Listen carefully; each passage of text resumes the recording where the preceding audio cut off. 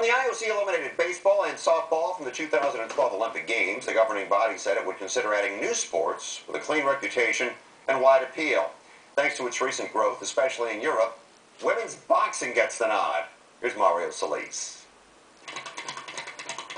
It was the most anticipated decision in the history of women's amateur boxing. Unanimously earlier this month, the IOC decided to include female pugilism at the 2012 Olympic Games in London. The fact that it's in the Olympics means that we're respected and accepted as true athletes. About third time. You know, I feel like, you know, women, that's the only women's sport that hasn't been included in the, in the Olympics. Women's boxing came close to being included in Beijing, but perhaps the fear that the sport was not competitive in enough countries may have kept it out.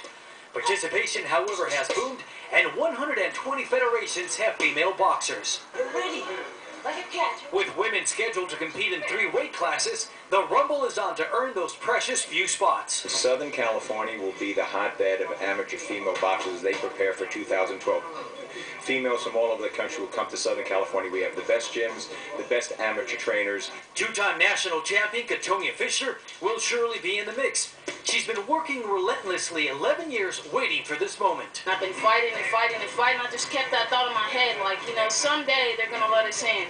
And hopefully I'll be the perfect age, which in 2012 I will be. They're so hungry. I guarantee you there'll be shining stars being born on 2012. Mario Solis, Channel 4 Sports.